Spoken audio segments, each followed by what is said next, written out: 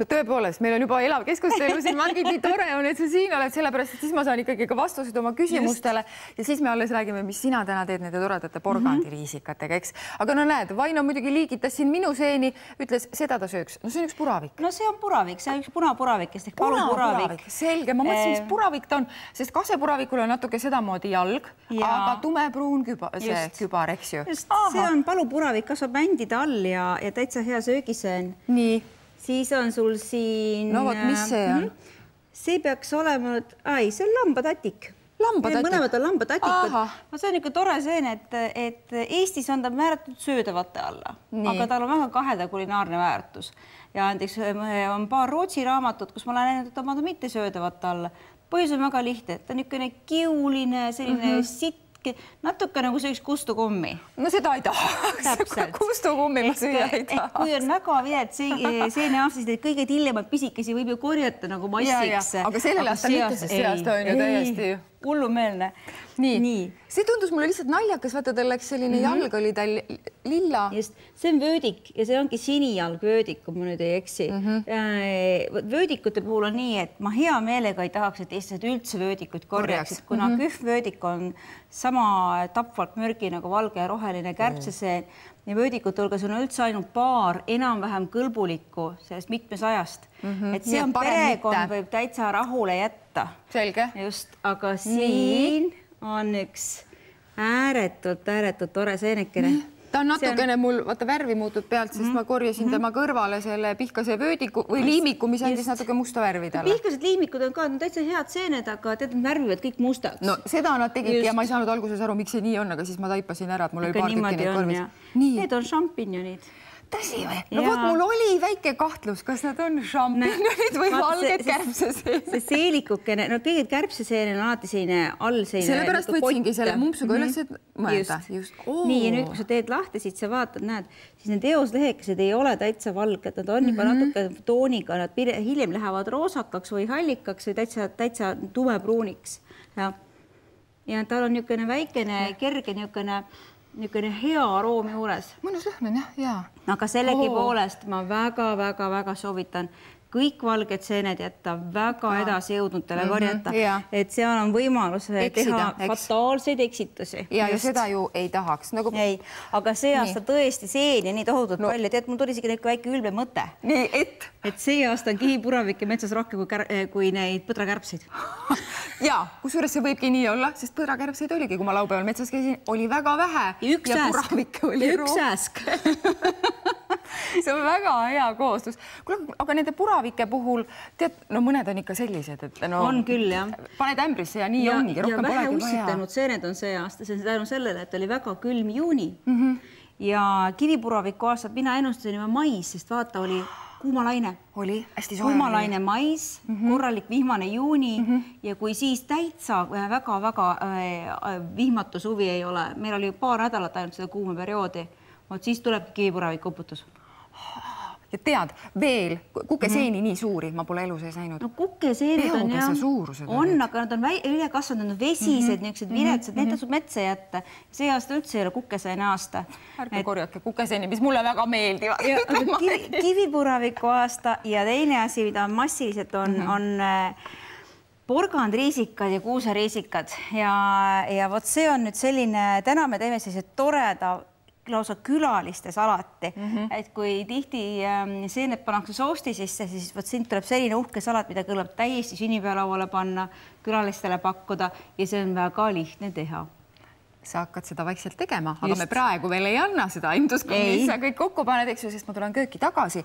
Ja siis me vaatame, kuidas see ilu, mis sünnib siis põske panna, siin köögis on sündinud Margiti käte läbi. aitäh sulle praegu Lauri-Lena Pink tähistab täna oma sünnipäeva, ma ei ütle mitmendat, selle võite te ise järele uurida, aga sünnipäevalauale, nii nagu Margit ütles, sünnib täna hommikul üks suurepärane porgandiriisikasalat. sa oled ju alustanud juba, kõigepealt selline hulga rohelist salatit. just, tegelikult selle salati võlu peitubki eh, sellistes erilistes maitsekombinatsioonides ja teha on jube lihtne tundub küll. suur salati põhi, siis ma võtsin lihtsalt avokaado, viilutasin ta oma koore sees mm -hmm. ära maitstasin äh, sidrunimahla ja soolaga äh,. lõikasin tomatid valmis, maitstasin soolaga, äh, valmis krevetid nõrutasin. tomatid on erinevat väri sellepärast, et ilus oleb. lihtsalt puhtalt edevuse pärast, edevuse pärast just, et kollane, punane tomat, oranž, porgand, riisikas, noh, see on väga ilus mm. -hmm. Äh, tegin äh, salatile kerge dressingu äh,, oliiviõli, sool, pipar, sidrunimahl, mitte Ei midagi rohkem pole vaja mm, -hmm. palju basiilikut ja tema teeb eriliseks see, et tegelikult seeni ju me tavaliselt oleme harjunud sööma kas supi sees, sausti sees, aga seekord lähevad salatisse ja siis on mul selline eriti julgetele kokkajatele väike Nii. soovitus, et panna vaniljeõli. vaniljeõli natuke. vanilje sobib suurepäraselt äh, teatud äh, seentega ja eriti hästi ta sobib äh, musta torbikseene ja just nimelt purgandriisikaga mm. -hmm. ja tegelikult selle salatisse sobivad äh, kõik oranžimahlaga riisikad, aga noh, purgand on muidugi kõige parem. no sul on siin üks väike valik nendest oranžimahlaga. just, Riisikatest, kusjuures eh, kõik arvavad, et oranž riisikas, see on kuuseriisikas. tegelikult Eestis on neid kuus erinevat. ahah, nii, see on nii, see on tavaline kuuseriisikas, vaata tal on natuke rohekaid marjundeid, eks rohekas. siis selline roosakama tooniga ja hästi niisugune tugev ja lihakas see, see on porgandriisikas. siin on mul ka üks väike varieeruv riisikas, aga peale selle veel veririisikas, verkesriisikas ja finnoskandicus, Lactaris finnoskandicus ehk finnoskandia riisikas. ma praegu ei suutnud seda kõike meelde jätta, aga ma vaatan üle. Pole tähtis, pole tähtis, aga see sest- varieeruv riisikas, see on hästi huvitav nimi, ma ei ole seda ennem kuulnud. mis see tähendab, kas tema kübarvärv võiks olla kuidagi ühes metsas ühesugune, teises metsas teistsugune või? ei, vaid tal on hästi palju erinevaid toone. Ja mm -hmm. minult tihti küsitakse seenemetsas, et Margit, kuidas ma eraldan mürgised ja, ja söödavad seened. et kas on nii, et kui uss sööb, et äh, siis on mina ka söödav, või? nii, või et kui seelikut ei ole, võib süüa. tegelikult on ainult üks reegel, mis tõesti kehtib. ja see ongi see, et kui see annab piima, oranži piima, näed, vaata niimoodi, näed, jätad No ilus peale, eks jaa. vot see on ainukene erand, mis kehtib, ainuke reegel, mis kehtib raudselt. ehk kui seen annab oranži piima, siis ta on värskelt söödav. Ja tegelikult teda ei peagi kupatama, sa praegu porgandiriisikut paned lihtsalt siia panni läks peale. otse siia ja see ja läks väga natukene, umbes paar minutit lihtsalt. ja sellel lõis, oi. Ohoh. no nii, võtame natuke abivahendeid kasutusele. tegelikult ongi selle seenevõlu see eh, porgandriisika puhul, et teda ei ole vaja isegi nii-öelda väga noh, liialt küpsetada mm. sellepärast et, et ta saab valmis äh, tõesti väga kiiresti. no kuuseriisikas on kergemalt mõrk ja maitse ja sinna võib natukene seda juurde anda, seda küpsetamisaega mm. -hmm. Läheb aga, mahedamaks. aga siia nüüd ei ole mitte midagi muud vaja kuule, kus Oi. kandis Eestis need porgandiriisikad kõige rohkem kasvavad? porgandriisikas tahab kasvada männi all, liivastes mm -hmm. männikutes, tihti on ta tee peal, kasvab.